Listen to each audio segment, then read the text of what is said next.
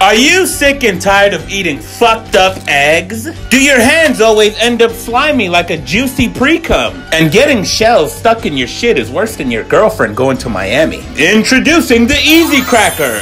This shit cracks eggs. Ta-da! When your income tax runs out, you'll be eating hard-boiled eggs all the time.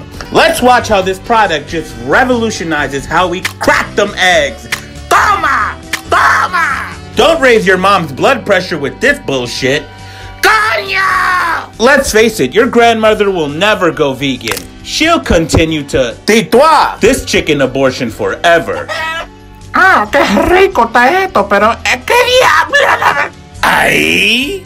¡Hártanse, coño de huevo, hijo de la gran semillota!